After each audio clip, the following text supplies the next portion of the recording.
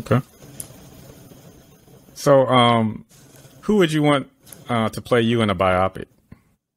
Oh, that's another story. That's like when this is all done, when we do books, when we do movies on my story.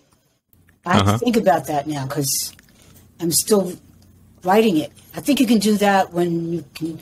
When you, well, I'm going up still.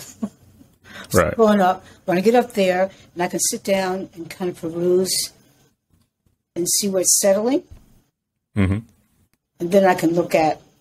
And that might be for a little while, so there might be some other people I could consider that, but really not necessarily on the horizon, or maybe they're not on my horizon now because I don't really go to the movies. I don't know.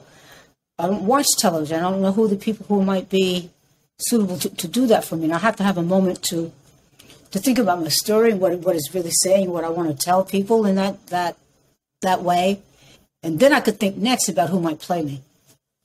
I could kind of see Anika Noni Rose. I could kind of Oh, see I that. forgot about her. See, definitely. Oh, I would be. I'd be flattered. Yeah, I could see that.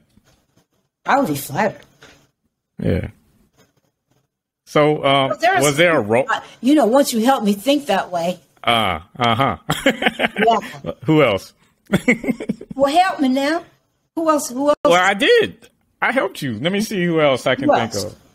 of. Um, oof. I could kind of see Kelly Rowland. You do you see Kelly? Oh, Kelly. She's so strong and cute. yeah, I, mean, I can see her, too. She can sing and she can act. Of course she could. She'd just be totally different than uh, Anika. Very different. But there's no reason why not. See? And I know who these people are, but I don't pay attention right now because I'm so focused on something else. All right. Those are the two off the top of my head. All right, I won't push you. Okay. I'm Obviously, because I like this now with the pressure being on. Okay, well, who else? I mean, yeah. I, I mean, I just saw Anika just instantly, like just looking at you and and and your story and you know the fierceness and the then the touch of comedy. It's like mm-hmm. that's Anika. It's definitely Anika.